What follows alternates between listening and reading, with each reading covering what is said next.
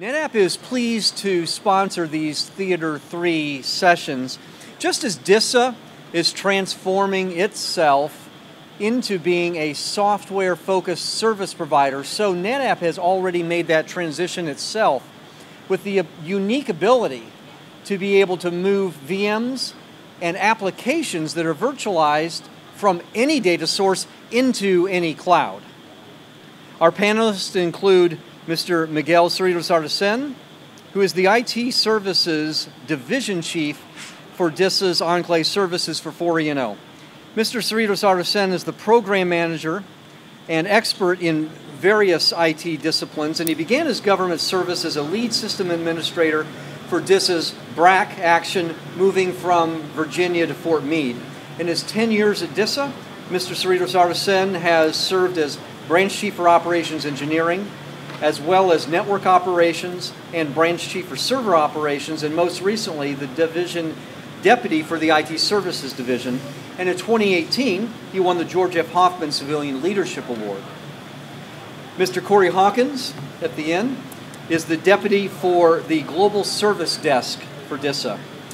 He supports warfighters, military components, mission partners, and other federal agencies with a single point of entry for service desk support.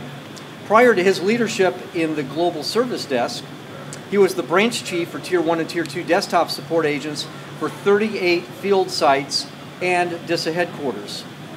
He served as he served DISA in the branch chief roles at the Oklahoma City Operations Division, Enterprise Email Operating System, and Microsoft Operating System. He began his career as a Marine at Camp Pendleton and later became a communications warrant officer in the Oklahoma Army National Guard. Ms. Laura Herbertson is the Division Chief and Deputy Program Manager for 4E&O at DISA's DES. She's an experienced program manager who specializes in complex acquisition programs and services.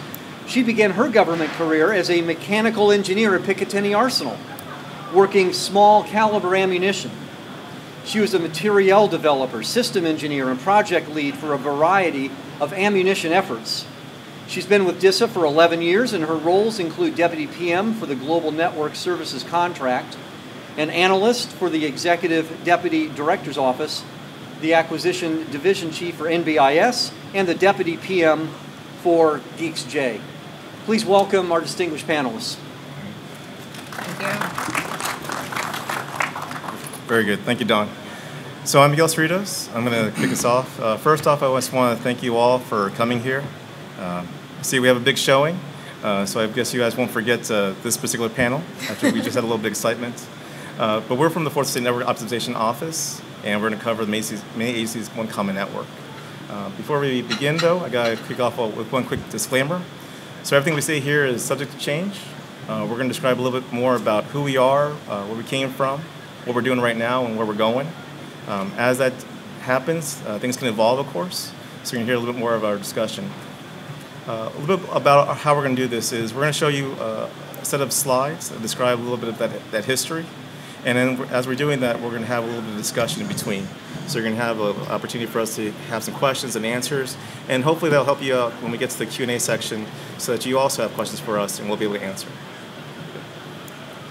So as Don said, uh, I'm Miguel, and uh, my job is as the Chief of IT Services Division, but what that essentially means is I oversee the backend infrastructure, uh, the operations. We oversee the daily governance uh, for what we do to include change management, configuration management of DoDNet. That is our network service.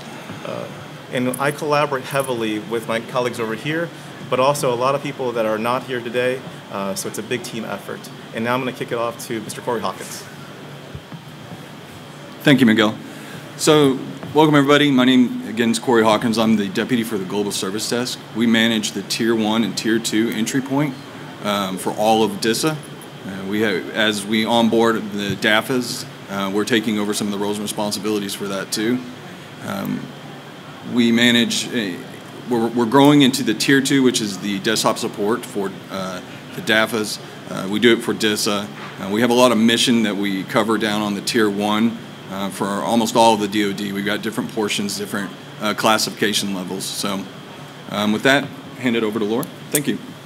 Hi, um, my name is Laura Herbertson. So my daily duties of program manager of DoDNet is um, contracts, acquisition, resourcing, financials, manpower, making sure that these two, as they operate their services, are resourced to operate their services. Um, we take strategy, the big strategies that you're hearing here, the initiatives from the department, the strategy from the, the agency, and we make sure those are reflected in what we're doing uh, every day. So those that's my focus to support them. Um, so a little bit about us. Uh, we we have a lot of terms. you hear us say Fourth Estate Network Optimization. That's the name of our program. Fourth Estate refers to all of the civilian agencies, uh, the defense agencies, DFAS, DLA, MDA, us, DISA. Um, those are our customers, and what we're working on is every single one of them has a separate NIPR and SIPR, a classified, unclassified network that they have and they operate. What we're saying under network optimization is let's collapse all of those efforts, those, those unique, different processes, tool sets that they have. Let's standardize across a DoD uh, enterprise. And let's call this thing DoDNet. So we call our network DoDNet. We call our program Fourth Estate Network Optimization. And what we call Defense Enclave Services is all of the services that you can order from us, all of the services that we support. It, it's not just the network, it's not just DoDNet, but it's also circuits, Office 365, phones, anything that you need.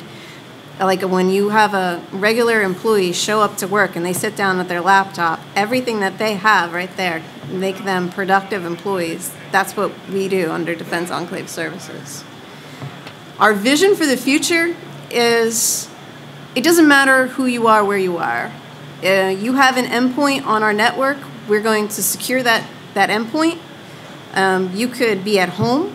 You could be in DISA headquarters. You can be in in Indianapolis. You can be in DFAS. But that endpoint is a DoDNet endpoint, and it does not matter. So that's the vision that we're trying to get to is all that end user support, that end user's experience. Um, how do we get from here, where we are today, taking that disparate network from another field agency and making this grand scalable vision across the enterprise. So our goals uh, that we're trying to get to is we, we are considered an IT reform effort um, where we we um, operate under the, the department op, uh, sorry we operate under the department IT reform goals so one of the things that we try to do is strengthen the cybersecurity as we go out and we look at these other agencies. We say, okay, what is your operating procedures? How do we normalize? How do we standardize those? How do we move you from where you were into this single service environment, the single service NIPR and SIPR? And how do we make that work? You know, what are your requirements? What are your unique capabilities? What's your unique mission? And the whole point of doing this is so that DISA will become the single service provider of DoDNet, of Defense Enclave Services, allowing all of the other agencies out there in the Department of Defense to focus on their core competencies. Like MDA does missiles, um, DARPA, you know, they have their core functions of their agencies. So we would provide the IT backbone to those. And who's our customer base? In pretty much the civilian agencies. Right now, we are scoped to the, the fourth estate, which we call, you know, it's not the COCOMs, it's not the military departments. It's the it's the wonderful customers you see on this slide, and they have been amazing. They've been providing excellent support with us so far.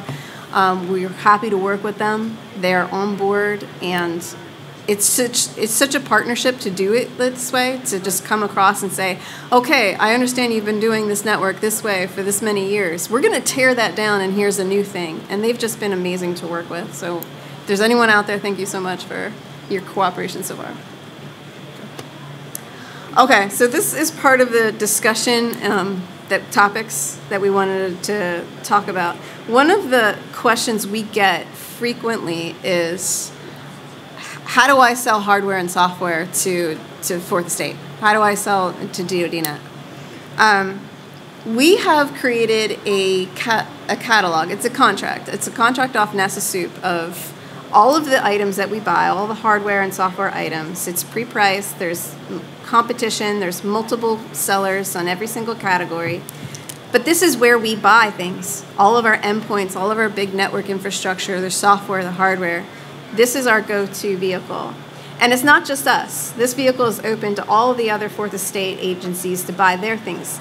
This was one of the first steps that we did to try to standardize, make sure everybody's buying something that we know is interoperable and that we can secure and that we can maintain and patch in the long run. So at this point, I'll turn it over to discussion um, and I'll toss the question over to Miguel. How do we buy? What do we buy? How do we buy? What's an approved product and how do you get on it? Right. So in terms of our approved products list or software list, it starts off with the requirement. So one of the things that we're looking at is to see and understand what is common, right? What is it that's going to be used by uh, two agencies or more? And then from there, we want to understand how are they going to use it and what do we need to test. So our group will actually analyze that requirement. We're going to then do test use cases against it. We're going to scan that device or that software, and we're going to then take those artifacts, and based on that evaluation, we'll return them back to the program office. Assuming that that is uh, gone to approval, for at least from a strategy perspective, we're going to give those scans and those other results to our risk management uh, executives. And we're going to look to see if they can be authorized onto the network. So every product that we have on our catalog has to be accredited onto our environment. Uh, we also need to understand how it's going to be operated. So my group, like I said before, is the one that sees the backend infrastructure. I, I need to understand, can we support this? What are the complexities of this uh, product? How often does it need to be updated? What is a long-term sustainment strategy? Can I deprecate another product in order to use this product? Right? So we, we're not in the business of trying to have a variety for the sake of it. We want to make sure that we're actually just meeting those uh, set requirements first. And so there is a full-fledged process that we look at for the full life cycle of that system. And as Laura mentioned before, this product can change. So what you may see of vendors today may uh, be different tomorrow. So it, it allows for competition and ingenuity and innovation. Mm. So once it gets on the approved product list that Miguel maintains, at that point we we put it on the catalog. We'll work with any kind of resellers, and we also have. Um, it could be an onboarding trigger at, at, any point in this contract. We can open it up and say, "There's a new product. We need new resellers." If there's not enough competition for a particular item on there, we try to have at least three to five resellers on this contract um, so you can, there is opportunity to get on this. You just watch for um, any time that we open it up for competition. But okay, the next discussion topic we wanted to. They gave us a microphone and we get to pick the topics. So I'm sorry. So the next topic we wanted to tell you guys about is um, another question we get is. Hey, can I test this thing out on DoDNet? I got this great new thing. I want to play around with it. Can I test it out on DoDNet? Um, we are a network largely in operations and sustainment. Uh, we don't have RDT&E capabilities. We don't have test beds or development prototypes. Actually, what we do here is we partner with the rest of DISA. Um, emerging, te- emerging technologies and Steve Wallace's team, we rely on them. Yes, do your testing, do your inventions, um, do your innovations, test those things out where we get involved is when it's operationally ready. Like when you are ready for that 200 user pilot, that's when we get involved. Um, mean, we're going to have a network of hundreds of thousands of users after we're done this migration in a couple years. So that that's ready. Like one of the things that we look for is can it be scaled? How do we operate it? How do we keep it sustained? How much manpower is this going to need? How much money is this going to need? What does this look like? So uh, I'll toss it over to Corey first. Okay. You've been silent. So when we when we were approached to do a pilot, what is the one of the things that Global Service Desk wants to take a look at?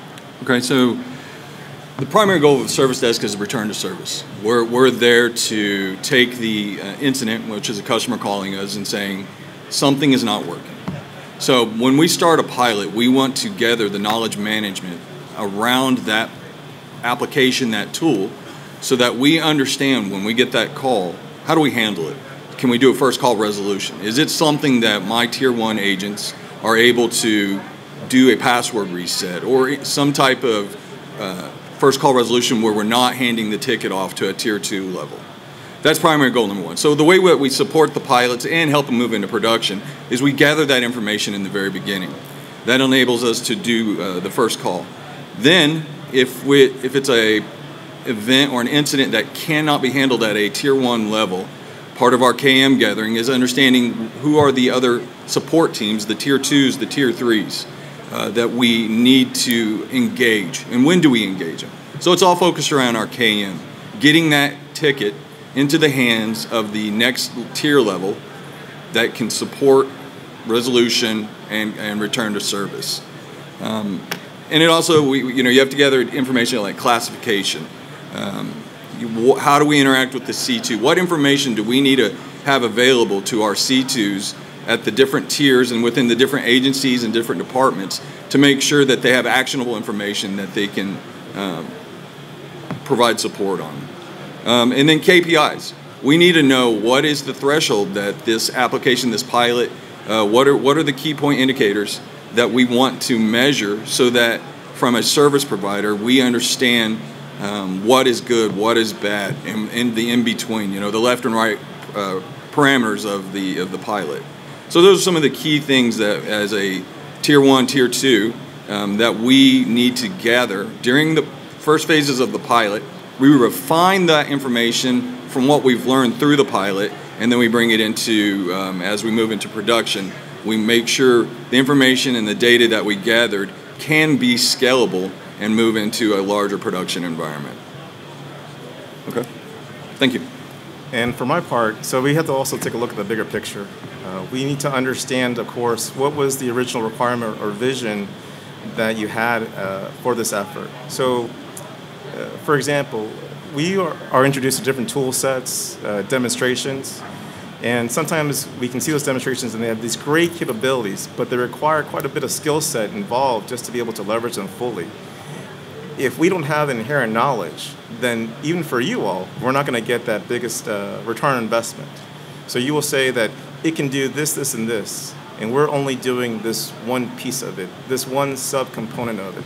You want us to use that full total capability, but we need to understand what that looks like. Was it uh, defined in your IOC? What does your FOC look like? Uh, I need to understand more about the tier structure model that you thought we were going to have implemented, and therefore, how, is it, how are we going to respond back to that? Does your system or architecture have resiliency built into it? Does it have uh, interactions with other components of the network, maybe other components of the endpoint? You know, I, I think there was a lot of discussion here about endpoint performance. And there's always uh, some system that may talk about an agent. Uh, agents are great up until the point that they have to interact with other components of the operating system. Up until you have to understand how a group policy or STIG or IAVM will now interfere with, you, with your requirement. So was there tail end support that wasn't defined? So what is the true total cost of ownership going to look like? Were there hidden costs that were involved? So when we look at maturity of a solution, we are trying to guide along uh, where you are from a pilot perspective, but we're trying to make sure that it has an operational model. Because at the end of the day, if, if, I can't support it and I can't represent your tool effectively, then you're ready to get a call for me saying, well, what are we going to do next? How's my tier four vendor support going to get involved here to help us better, to mature this product level? So we really need to make sure that that full cycle, that full vision is, is brought to fruition. And that takes a lot of work and team effort. Mm-hmm. Right. And from my perspective, when we talk about new capabilities, new technologies, how much more money is it going to cost? Because it's not like we, we, get a new capability and new dollars come with it. We have to cut something that already exists. So things I ask is, well, what can I stop doing? What can I sunset? What can I turn off in order to turn this on? How is this going to save us money? And if the answer is it's not, but it's going to add, you know, three units of cybersecurity but cost you $10 million, we do these cost risk benefits and saying this might actually not be worth it. So even if you get a green light from Global Service Desk, and you get a green light from operators, if it's still not there and it doesn't come with dollars and money, it might actually just end up a good idea that never gets implemented. Um, those are the type of things that we look at and why it feels like sometimes when the ideas come to us, we always say no, no, no, no, and that's not us. I mean, we want we want to get to this end state. We want automation. We want this, but we want it for different reasons. You know, we, we need to reduce costs, we need to get faster, we need to provide better service faster, but without adding any money and manpower to the networks. Okay, um, the other discussion is where do we all fit? Why are we doing this?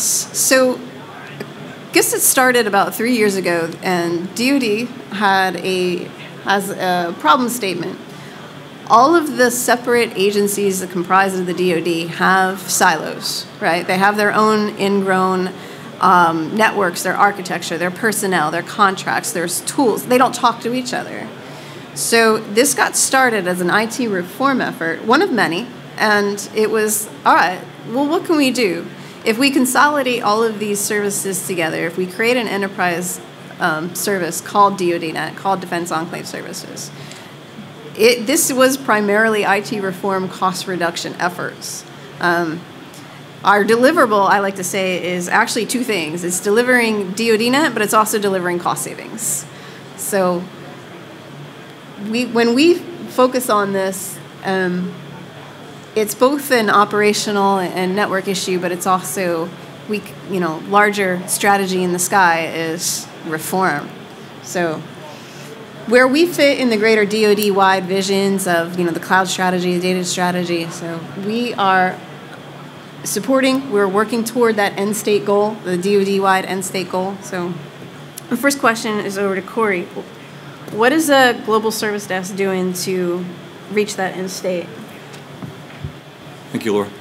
So again, with the global service desk, we want to to create transparency. Uh, one of the keys that we have when we onboard uh, new customers is we want to create transparency with your ticket. We want to be able to have a portal that the customer can go to to see what their, their tickets, if they have VIPs, can they track how many VIPs they have working, that they're, they're working tickets for.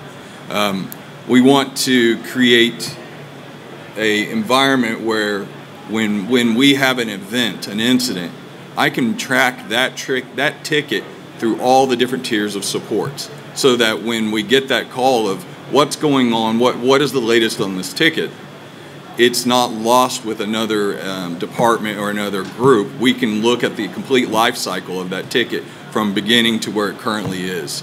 And what that allows us to do is find areas where, where tickets in certain applications or events might get hung up.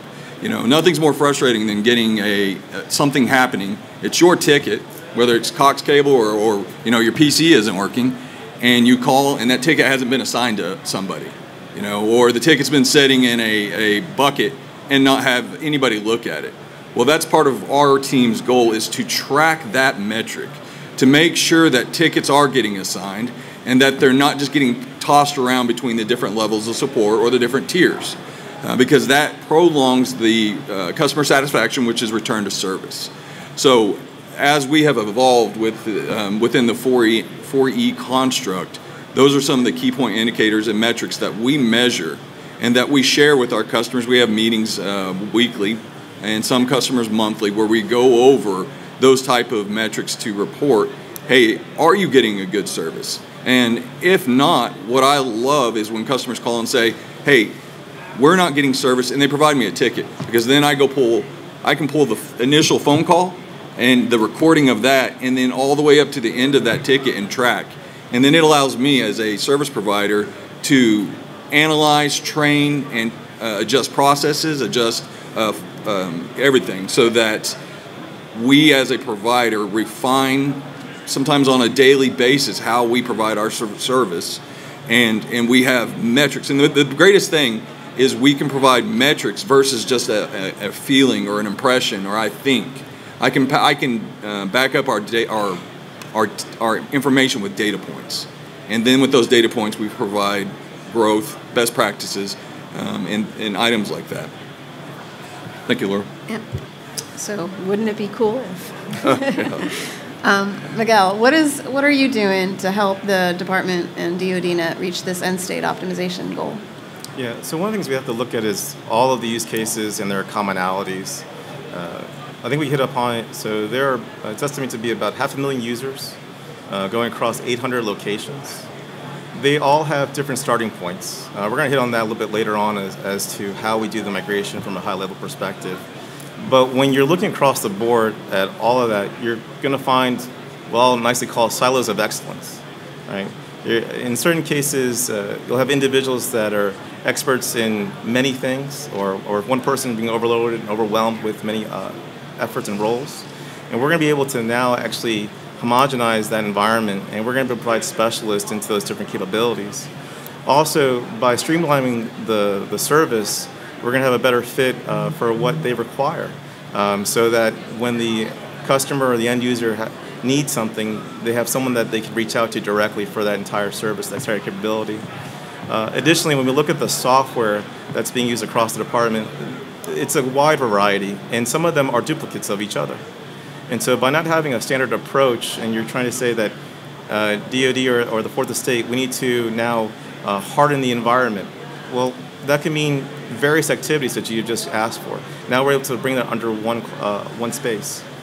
Additionally, one thing that we also do is we are enabling uh, the Fourth Estate partners to actually focus on their mission.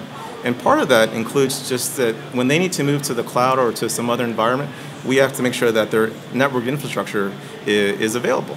So, one, for example, when I spoke to one of our partners, uh, they were still moving to the cloud service, and we talked about, well, what's the circuit capacity that they have today? I won't give out the number, but it was very low. And for that, we were able to actually champion for them to have a higher speed, higher capability, uh, and it was more of a collaborative effort to make sure that they were successful in, in what they need to do. Again, by offloading also their common use, common workload, uh, they were able to focus their staff to just their mission. Additionally, what we also do is we look a little bit more forward, leaning forward towards the cloud environments. So we're understanding more about what is available within the DIA space for IL5, IL6. We're looking more at software as a service capabilities, mm-hmm. how can we better utilize the full uh, capacity and the power and harness the, of the cloud. Uh, because ultimately what we know is that while we are supporting our customers of the fourth estate, our customers are supporting the warfighter. So there is a domino effect that actually happens that if we are able to provide a high level of service, they're able to provide a high quality of workload and therefore improve the, everybody within the department. So it's a, it's a big responsibility that we have. And, and I wanted to jump on one more thing with the tier two, as Miguel highlighted. We talked about the standard software packages, the standard image, uh, a homogeneous network. Um, one of the things that we I, I didn't highlight, but is, it's a key point is as we move to a DoDNet construct that has the 4E agencies moving into, as it has DISA, JSP, as we move all these agencies into the same network with a with a common image, which is on their workstation from a tier two perspective, it also allows me because everybody has that tier two, that service desk or a desktop person that's the expert. We all know who it is. You know, if I said, "Who would you get to come fix your your desktop?" Everybody in this room has somebody they would think of. Well, as we move into a construct that has DoD net, I now gather up more of those experts, and I can have them virtually support across the DoD net to help with, you know, those those higher level problems. You know, somebody's desktop's not working. As long as the desktop's not down, you know, they can remote in. They can they can do the over the shoulder look with the other tier two agents, and now as an agency, I'm providing not just that one person that you're thinking of that was the expert. I've got a multitude of those experts that I can pull information from. And what we have found is, as individuals, these experts have hey, did you know how to do this? Or hey, I had this cool thing that I do that fixes this problem. Now I've created this larger uh, community of knowledge management that we share across the board.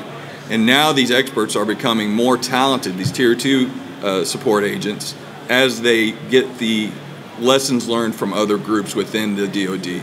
So it creates a very uh, larger knowledge base and hom- homogenous team that just doesn't support an agency, but now it's supporting a larger department-wide effort. Okay. Oh, that's my shirt. Oh, okay. So, um, other topic we wanted to talk about. We got a lot of questions. Well, how are you doing the migrations? And also, one of my favorite is why is it so slow? Um, so it's not easy to go into a network that we've never seen before, um, familiarize ourselves with it, and make it look like DoDNet.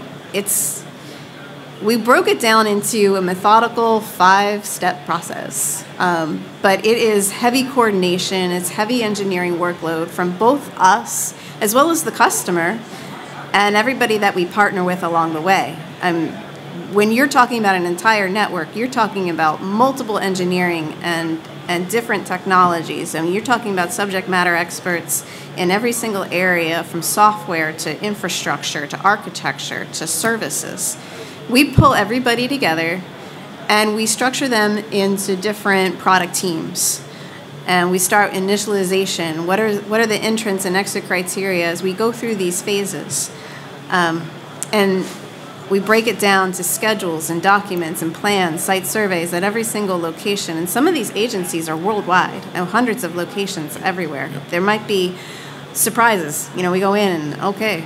Um, but we break it down. We have standard templates and documents, and we've, we've generally worked out this process. But I think people are surprised when we say it typically takes 10 to 12 months in order to tackle this and, and take it from initialization down to when we first actually start handing a user here, here welcome to DoDNet, here's your user guide. Just because we want to make sure that these networks, as we migrate them, they they're continuing to work. They have to support this agency mission. I mean, it's vital that we coordinate our ASIs and we make sure that we're not interrupting any kind of agency mission as we do this. And we work with them and all of their locations, all of their you know mission sets that they have, their mission apps, make sure everything as we do it is still functioning, ready to go, and that we're providing value as we as we go. So, um, first question over to Miguel what are some of the challenges that you found? What, and uh, what did we do to resolve them? So there, there are a few, of course. Uh, one of them would be let's go over the site survey.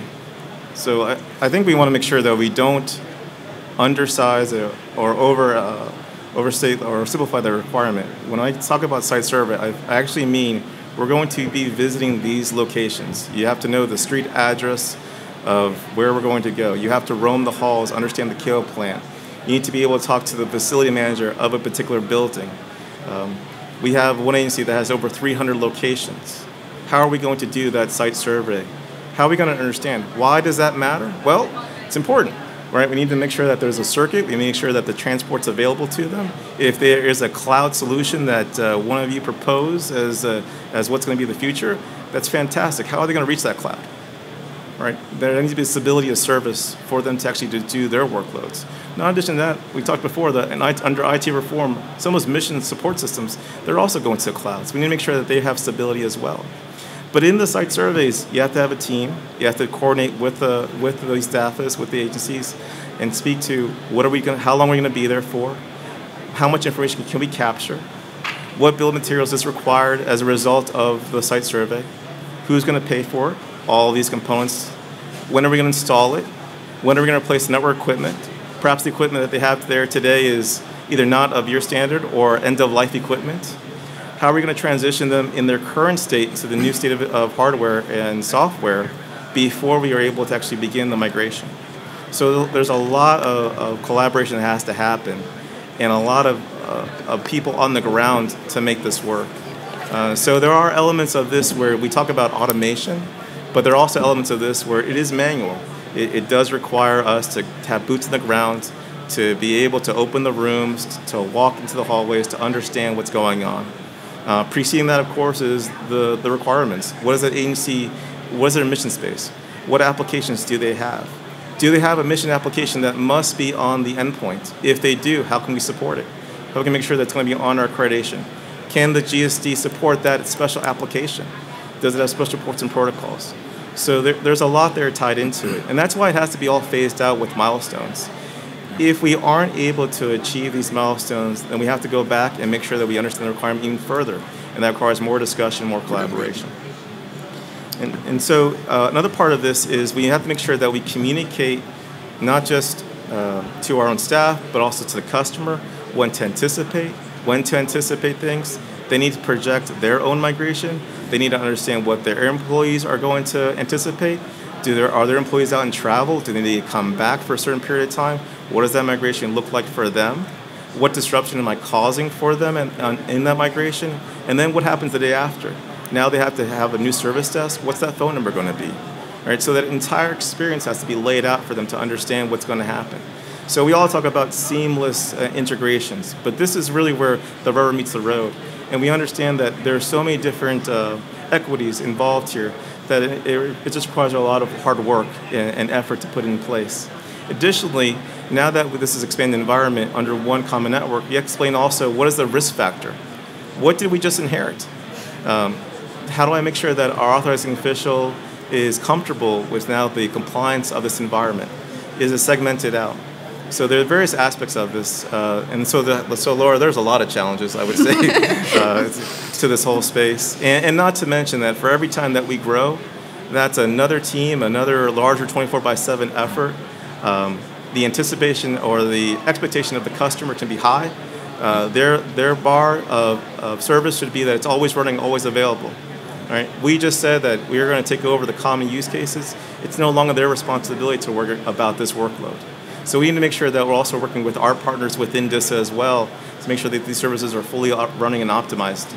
And we understand what's happening within the environment. So there's a lot of uh, uh, need for interoperability, a lot of collaboration of governance, uh, a lot of changes of change management. Uh, if you were here yesterday, I think I think in this seat they had the command and control panel, and they were talking just of what it takes for an authorized service interruption, an ASI, and how many stickers are involved, and what, what do you want to do if you want to cancel an ASI all of a sudden? Who do you have to communicate that to? We got to communicate that now to our customer that may have collaborated with perhaps their facility manager or somebody else, another stakeholder that they had an agreement with. So there is a lot of voices involved in this project. That, that's why when someone says, why is it taking so long? It's a lot of work. So I would just say to anyone that's involved in this effort, uh, make sure that you understand the full scope of the work uh, and not simply one component of, of the solution because there's so many pieces involved here. And what about Global Service Desk? Where do you jump in in the migration? So let me add on to jump on what Miguel said. So the the discovery teams that go out there don't play poker with them because as they're pulling back the layers of that onion and finding the ugly that every network has, they have gotten masterful at keeping that straight face and not, you know, showing like, oh my God, what is that? you know, so they, they, the team is wonderful, and this, I'm impressed sometimes with how they can just keep that professional, you know, even when they find some stuff that just will blow your mind. So back to Laura's question. Uh, what, where does the service desk? So we're, we're part of the discovery team. So part of, uh, as Miguel and, and Laura's teams are going in there talking about the network, talking about infrastructure, we're also going in there talking about what is their service desk. We're doing the, the discovery of how their service desk, the processes, the procedures, what data points are they presenting, what does their uh, uh, ticket infrastructure look like. So we're going in there and doing a discovery to find out what they do today to support their mission. On the other side, the tier two, the desktop support, we uh, look in, and, and just we find out what their common applications that they use, um, what kind of VIP support you know, everybody thinks they're a VIP, but when you start paying for it, you really start getting to the true grit of who VIPs are. Um, everybody wants to be one, but you know, and not everybody can be one. So it's setting those expectations, understanding the customer's mission. So we are a part of each of these phases of the processes, the five phases, um, from the very beginning. And and we have multiple teams. So we're agile enough so that one team that may the tier one team that's working with the services, we may be in a separate phase of this than our tier two. Um, so we have to be agile and make sure that we can move in different parts of the phases so that we're not locked down, so that we can constantly move. And as the team moves on, it, we may have multiple customers that we have to uh, provide that same level of support to. So as our as our teams move through the processes, they may move from one customer to the other and start over, which creates a, a, a center of excellence for those teams. So we to kind of round it up, we start from the very beginning and we have multiple teams moving through the processes, and it allows us to uh, stay agile and adapt to other customers. Thank you, Laura. Okay. Shouldn't have turned my mic off. Okay, so this is the global service desk. We are the single service entry point for all of DISA. Uh, we're slowly moving into the single entry point for all of uh, the 4E agencies. And what does that mean? So we, we do that through uh, transparency. We want to provide you as a customer the most data that we can provide so that you can make business decisions. Um, let me get to this. Tier zero. So a lot of people, what is tier zero? Tier zero is self-help. It's so I'm a tier zero carpenter. I go to YouTube and I look up how to build a wall. I just did it last weekend when I was working in a shop. You know, and that's what we want to provide you as a customer. How do I do X, Y, and Z on my computer? How do I reset a password? Is there a self-help portal? Those are the kind of things that we want to provide in users. Now, that doesn't mean you have to go to the tier zero first. There are, and I'm, I'm just as bad when it comes to like my uh, electric company or, or service providers. I don't want to hear the robot saying, you know, we have a web portal. I, I, I want to talk to a person. So we still have our tier one. We still have our call tree that you can, you know, hit one, hit two, hit three. I know it, it the more numbers you hit, it can get frustrating. But because we we do have such a large uh, customer base, but how do we get you through that? We provide each of our customers the call tree options ahead of time, so they know they can predict. Okay, I need to hit one, then I need to hit two, so so that they can be quicker and dynamic for VIPs. Um, if, if our customers have a VIP uh, service, we provide them a VIP, like a pin, that puts them at the top of the line, puts them at the top of the, the call tree, um, and it also elevates how their ticket is handled. So those are some of the things, which, which means what is all this uh, focus around? Faster resolution uh, of the incident, getting, getting you back to doing business um, and, and supporting the mission that, you, that you're, that's important to you as quick as possible. And again, transparency. Uh, we just, as my years, I've done service desk for so many years, back in the Marine Corps at Camp Pendleton and then the Oklahoma National Guard. Um, service desk, transparency. You know, it, it was always you had to call somebody to find out about your ticket. But we're working through, um, with the tools that we've got, we're working through having portals that the customers can go see and they can drive down, and dive down into their tickets. Yes, that gives the customer transparency to me and they can say what is going on. So it keeps me accountable. But that's what I'm here for. I'm here to be held accountable to a standard that supports the mission. And shame on me or my team if we don't. And, and we get that call and we say, hey, why did this happen? And we hold ourselves accountable. We have to. That's, that's, our, that's our mission. That's what we're here for. Uh, cost avoidance, you know, as, as you do a tier zero self-help, you know, we, we avoid um, customers calling in through, um, you know, or emails. So it, it as you go up, the, the concept, the industry practice, it says, as you go up in a tier from a tier one to a tier two, tier tier three, your resolution time extends. They say customer satisfaction gets less likely, and as you're going up the tiers, those are the higher level supports. Those are the individuals that are making, you know, the the expert, the uh, subject matter expert money. So we want to try to keep it at the lowest tier for multiple reasons. Um, what do we as a service desk? We started with the uh, the DESMF, and, and if you've never read that, it's a great uh, article, 160 something pages to read if you need to get some sleep. Um, I was reading through uh, version four last night. It was wonderful, but it's a framework that the DoD has. It's the left and right boundaries with which we do multiple IT operations. So that's kind of the construct. There's a a part in it for application support, IT operations, service desk, and those are the items that we've built our construct of global service desk around. And then of course we have HDI, ITIL, you know, the other processes and procedures that we use to make us try to be the best in practice, the best in the industry for our warfighters. Um, repeatable outcomes, that, that's kind of self-explanatory as as we um, expand our scope of our tier two, our tier one teams into larger agencies, we learn something that took place over with this group. We have repeatable outcomes. If it happens over here, our teams learn. So we're able to do that tier zero, that tier one.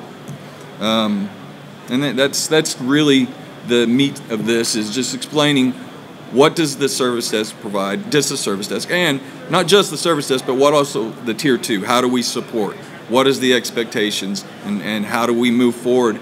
And ultimately, what is our ultimate goal? It's to provide the necessary mission items for the warfighter. You know, and, and nothing is more real than what was going on with Ukraine. And in some of the uh, the other meetings, the other uh, get-togethers, you hear about that how how DISA and other partners are are dealing with that, and they don't have time to deal with hunting down problems, and we got to get that return to service. And it starts with me as the single serv- as the single entry point, and then making sure we get those parties involved to get resolution as quick as possible. Okay, thank you. Okay, yep. So that's the end of our, our slides. Um, we have about 14 minutes left. So we wanted to take this time to uh, open up to any questions. Sure. Okay. I don't think there's a mic. Oh, there's a mic. Yeah. go ahead. Hello, thank you. This, I'm Meg Hart, and I work at DFAS. Um, we use the catalog. We love it. There's a lot of opportunity for saving money, and it saves us from having to contract as well. Um, but there has been some hiccups, and so my question is have you implemented a process that we aren't aware of, or what is your plan for the future? I realize you have a lot of customers, um, but sometimes the base products aren't suitable uh, for our needs. Um, and so, you know, is there some sort of feedback mechanism that could be implemented before procurement of, say, specific laptops, right? So that we make sure that we are able to order and it does meet our needs and um, meets other mission partner needs as well. Yes. And first, thank you for the testimonial. We're going to put your words on a slide next time. Now, um, yes, there is a process. So uh, for our customers out there, if you if you're looking at the catalog and you're using it and it's not quite meeting your needs, um, easiest way is to contact either me, Miguel, like reach out to one of us. We're on Teams, you can find us, um, and say, okay, I got a problem. The first thing we're going to ask you is, well, what is the requirement?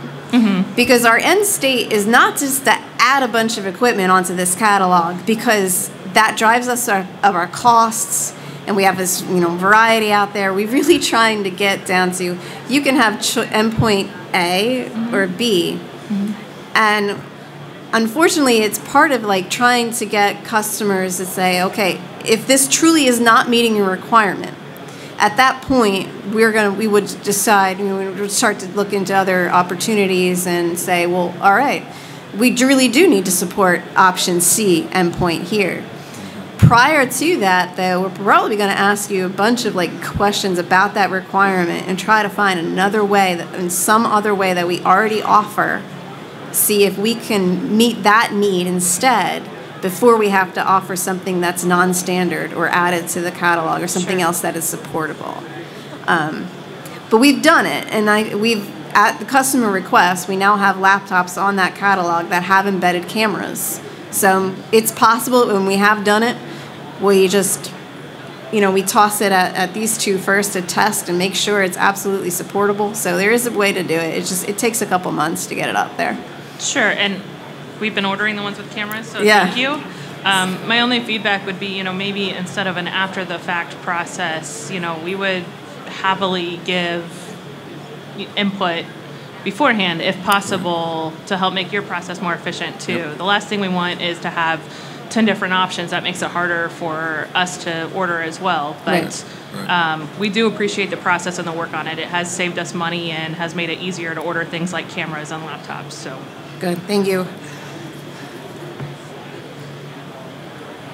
Hello there, uh, Tom Kopko. I work at CyberArk, and uh, I I co- sort of had questions about the scope of the four ENO contract and uh, how far into the mission partner agencies that you serve. For example, mission partner applications. So DLA's got lots of different applications that they run their business and do their logistics on. Is your program affecting that, protecting it? Um, managing the updates to the application or the cybersecurity of those applications, and then sort of in the same way, uh, does the program or how much defensive cyber ops does your program operate? I can, I can start. You want that one? Yeah. Okay. Okay, so from an application support, we the parts that we reach into the 4E agency is a commodity. So to, to get a quick definition of commodity versus mission, commodity is your desktops, your laptops, printers. Uh, mission is the components like uh, servers that are hosting for, uh, let's say DLA, the logistical uh, tracking pieces. So to separate those two, we don't for the 4E, we're focusing on the commodity side, which is your desktop printers. Um, so we we have a standard for the commodity side for the workstations. We have a standard image that is uh, DoD CIO approved, Army Cyber uh, confirmed, and and of course follows the STIG guidelines. So from that perspective, from an application device, uh, desktop device support, um, we we that's the layers with which we provide cyber. Now, from a network perspective, I think Miguel is my is the expert on that, and I'll let him. Yeah. So in, in certain cases, so it depends on what the mission is, right? So if the mission has already followed IT reform, it's moved to a cloud service, we're trying to try to make sure that we're providing the transport to get to that cloud environment. On the endpoint, they may have a, a console application or a mission-specific application that is required. In that case, we need to deploy that piece of software to the machine, and we make sure that the firewalls are set to be able to access that. In other cases, some mission systems may be still on-premise. We're going to provide their transport. But when we do that, we got to make sure there's network segmentation involved. They need to be able to control their systems. We need to make sure that there is still a zero trust model in place so that there is no ability for there to be an attack, whether it be from uh, whatever perspective it comes from, right? Whoever, whether it be inside or outside. So, in terms of the application that the mission partner has, we have to know that beforehand with them to understand what they need from us. There, for example, there may be a request where uh, next day they need to have a, a special update to the endpoint environment. We may need to escalate that request such that we can actually meet that timeline. We need to, it would be best if we knew that in advance. If not, we need to collaborate with them directly about that. And therefore, we need to make sure that our change management processes and all our request policies are able to meet that SLA. So, so there's a lot of work that we do with them. And sorry, as a follow-up question, um, are part of the enclave services, does that include um, any portions of zero trust, whether it be MFA services and, and those sorts of things? Yeah, so our s- service still rides and builds on the other services that DISA has. So, for example, today we do leverage uh, JRSS, Joint Regional Security Stack. We do plan to use Thunderdome. They're in current pilot phase right now. We're talking to them. So, in that sense, we're going to leverage what the agency comes with, and we're going to use those practices that they have. In addition, there, if you were there at the, uh, the panel yesterday, they talked a lot about the SASE and how the client itself will have a new client uh, software. We're going to be part of that, right? So we're going to be transforming, changing the way the VPN experience works. So we need to understand what that is. One of the things that we talk about, when we talk about the maturity level of other services, is okay, you have created a pilot program, you have certainly created a vision of what you want. Now you're going to hand it off to us to deploy it. You want to make sure that Corey's group, now if someone has a, a need for resolution, we can take care of that. We also need to anticipate what the next changes are. So we certainly do uh, use them. We're also leveraging today CSSP, cybersecurity uh, uh, provider. So we leverage a lot of services. We don't only provide our own services, TANS keyboard, but we work a lot within DISA to make sure that we are optimizing and refining to the best service we have. Thank you. Hi there. I was hoping you could go back to the IT primary reform goals, that very early slide, and kind of talk about how you um, prioritize your activities. Uh, the earlier one, there was like four parts going into a Oh, go keep like the one very I very early. early. Yeah. Ah. Yes, This that. one. Could you talk about that kind of how you prioritize sort of activities to achieve these various goals? If you're asking, do we have which one of these is the highest priority? They they all are. It's not like we can you know prioritize cybersecurity over money, uh, you know things like that. Um, we, it's kind of an equal balance of all of the goals trying to work together and in equal measure. So one of the things we frequently do almost on a daily basis, we, we constantly ask ourselves, can I stop doing this in, order to do that? And does that meet the goals of where we're supposed to go? And is this worth putting all of my manpower and resources into? Is this going anywhere? Um, and we frequently annoy our, our partners in internal to DISA because we ask them the same questions. We're like, do you have a plan for this? You know, is this how how do I when it comes to us, we we have to take that internally and we have to prioritize it and we have to say, can we keep supporting this? What um, does this meet the goals of where we need to go in order to meet these IT reform goals? Um, is this going to increase security? But if it does, how much more money? And it's it's it's very difficult to say what our number one priority is because it's almost like that that triangle of cost, schedule, performance. They all have to work together, and they all have to, there has to be compromise among them. You know, you can't just go all in on on performance and ignore the others. So, go ahead. Yeah, I, I, I, agree with Laura. There's a lot of trade-offs that we have to analyze and, and look at. One of the things that I that I, I look at from a cybersecurity perspective is is it introducing a vulnerability? Is there a lateral movement that's possible? Um, is it asking of me to provide privileged access to order this effort? Um, what again? What does that ConOps look like for this tool set? Again, there's also the balance of for that uh, for the for the fourth estate uh, agency. What is their mission? What do they require? So, without understanding a little bit more about each specific scenario, it's a little bit tough to, to answer that. But I would agree Laura that in every aspect of it, we have to look at the trade-offs. Um, the the initial ask is how do you get started, but the sustainment. Uh, what does this require of us, you know, six months from now, a year from now, to be able to, to support this?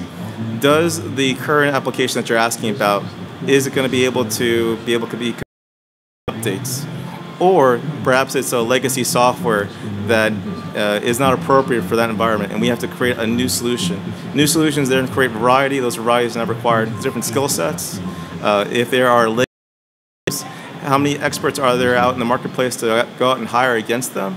Uh, what are we looking at here for total, again, back to total cost? So again, there, there's a lot of uh, items that have to be analyzed first before we can just uh, reach and say there's one. But ultimately, customer satisfaction is, is a high priority, of course. Uh, we work a lot with each of the uh, field activities and uh, to understand what are their pain points, what is important to them, um, so that them from accomplishing their mission. Okay, we have two minutes left. If there's any other questions? Then okay. I'll just leave with this.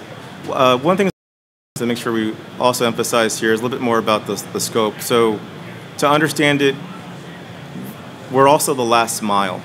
Um, there's a lot of things that are asked about about speed and agility and how can we get uh, sooner to turn on the service. But when we're talking about that, we have to understand again what is the starting point that we're beginning for an individual location of uh, a DAFA. Are you asking of them to uh, now upgrade their entire suite of hardware? Are you asking them to now upgrade the circuits? Do are we asking them to change their business processes? Um, are we asking for a culture change of some sort? You know, we really want to make sure that when we're, we're going through this, we understand the full scope of, of the solution so that, again, the, the agency and the customer can understand it as well so that they can fully adopt the service. Um, if you if you, however, if you bypass one of those pieces, and let's say you bypass the, the site survey, and you create, you create this great cloud-based solution, well, how good is it if it's interrupted uh, so that you can't connect to it? Um, if you can't access something, if you can't see a video, or can't hear your your boss, your colleague talking to you, uh, you're going to be obviously frustrated. So we need to make sure that their levels of service uh, are built on a strong infrastructure, on a strong foundation, and then surround those technologies with proper governance. So again, we have to understand the the change management. We have to understand how all these uh, tools are interoperating. Uh, in addition, we do want to get to full automation to get to automation, you may have under, uh, heard a little more about interoperability. Well, we need to understand what those APIs look like.